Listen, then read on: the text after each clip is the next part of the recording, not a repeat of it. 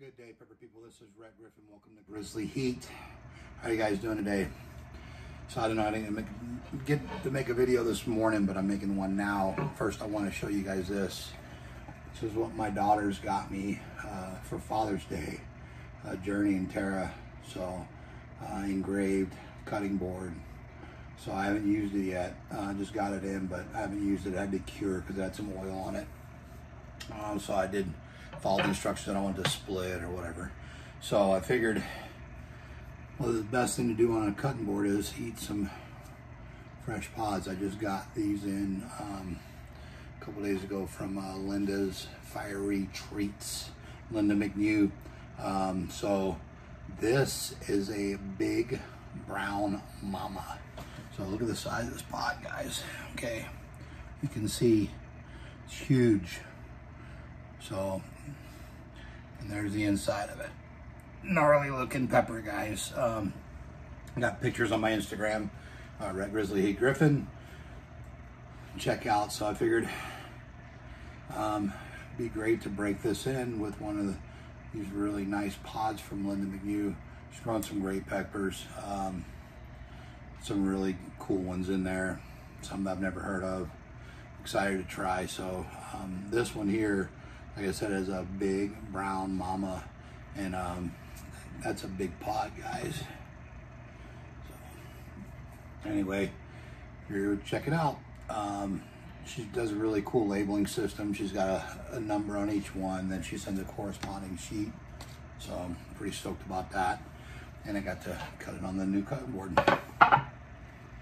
Really cool. So anyway, guys, um,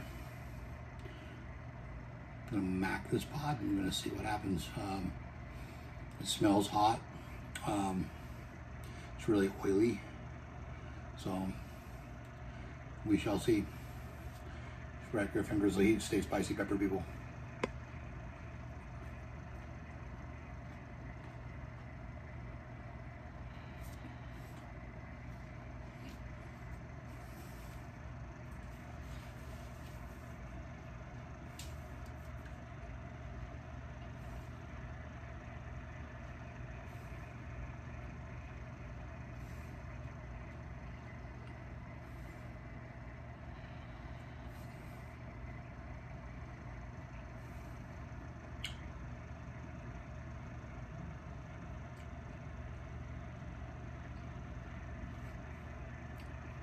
Pod.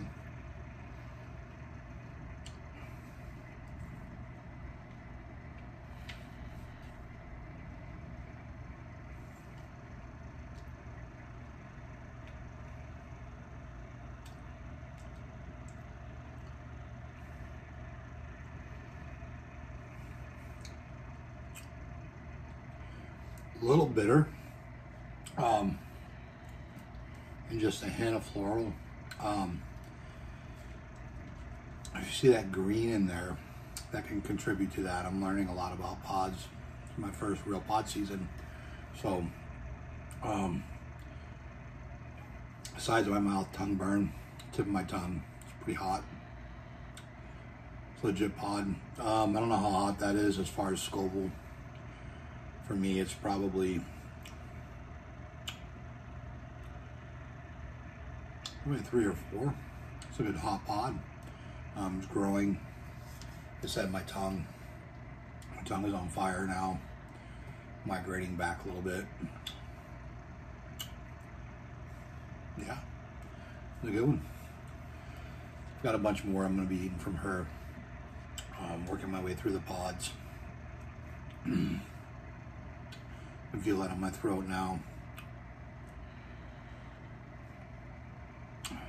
Yeah. One thing I'm learning about pods, so you do tincture, whatever, ramps off pretty quick. Pods hang out with you for a while. Um, stay with you. Fresh, fresh peppers definitely stay with you. Um, yeah, that's a good four. That pepper, a good one. Mouth burns, pretty legit might get kind of mellowed out, but yeah, it's pulling the back of my throat.